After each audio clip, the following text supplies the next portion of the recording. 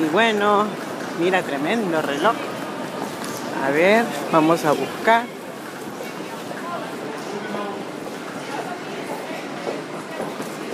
Dice que es salida 6.